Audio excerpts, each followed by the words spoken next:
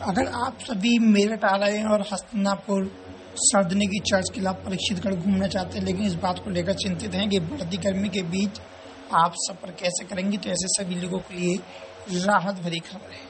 पर्यटन की दृष्टिगत मेरठ इलेक्ट्रिसिटी बसें की बड़ी संख्या इन सभी क्षेत्रों में लगाई गई है, जिससे कि जो भी यात्री हैं, वह सभी सुरक्षा की दृष्टि से और एसी आधारित बसों में यात्रा कर सकें। नाम सर प्रियंक है मैं इलेक्ट्रिक डिपो मैं कंडक्टर हूँ।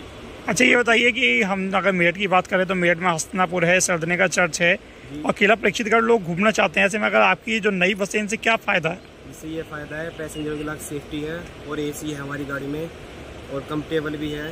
जितना अच्छा है पहले से ज़्यादा पैसेंजर ट्रेवल करने लगे हैं हस्तनापुर के लिए। हस्तनापुर घूमने की जगह है सर्दने भी घूमने की जगह एक चर्च है वहाँ पर। और जैसे हमारी गाड़ी का किराया भी और गाड़ियों से देखा जाए तो बस एक रुपये फालतू बस कुछ नहीं है लेकिन इतना सुकून की ज़िंदगी भी है गाड़ी के अंदर। एसी है और कम्फर्टेबल है गाड़ी में कोई दिक्कत नहीं है। मतलब आप ये कहना चाह रहे हैं कि इतनी गर्मी में एसी में लोग सफ़र भी कर सकते हैं और सुरक्षा के लिए सीसीटीवी कैमरे भी मौजूद है? सुरक्षा के लिए सीसीटीवी कैमरे हैं। यात्रियों का कितना रुझान बढ़ा है? काफ़ी संख्या बढ़ गई है। बढ़ गई है सर। काफ़ी संख्या बढ़ी है अभी तो। और आगे मेरठ सिटी में आपको पता ही है कितना बढ़ रहा है। इलेक्ट्रिक डिपो काफ़ी नाम हो गया इसका मेरठ सिटी के अंदर। क्या नाम है आपका? नवनीत जी हम देख रहे हैं कि जैसे हम हस्तनापुर हो सरदने की चर्च हो या किला परीक्षितगढ़ हो लोग घूमना तो चाहते हैं लेकिन इतनी गर्मी में नहीं जा पाते। ऐसे में इलेक्ट्रिक बस से कितनी राहत मिली है? देखिए सर इसमें हम बैठते ही एक तो अच्छा फील होता है दूसरा कूलिंग बहुत ज़्यादा होती है। मतलब कह सकते कोई रीज़न नहीं है कि मतलब गर्मी वगैरह ऐसा कुछ नहीं लगती क्योंकि मैं भी बहुत से टाइम मैं भी अस्तानापुर का सफ़र कर चुका हूँ सरदरा भी जा चुका हूँ तो मैं डेली अप डाउन करता हूँ। मतलब गर्मी आप लोग कहना चाह रहे हैं गर्मी में भी राहत भरा सफ़र है। हाँ जी सर। और आप आराम से घूम सकते हैं। जी सर। क्या नाम विपिन सक्सेना। विपिन जी हम देख रहे हैं मेरठ की अगर ऐतिहासिक धरती की बात की जाए तो काफ़ी सारे यहाँ पर पर्यटन क्षेत्र हैं लेकिन गर्मियों में यात्री लोग जाने से कतराते हैं।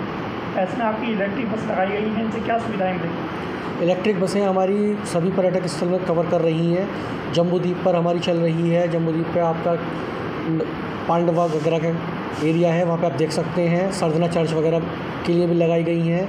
किला वगैरह भी हमारी गाड़ी चल रही है। तो ऐसे में गर्मियों में यात्रियों की पूरी सुविधा देखते हुए इलेक्ट्रिक बसें पूरी तरह से सेवा दे रही हैं।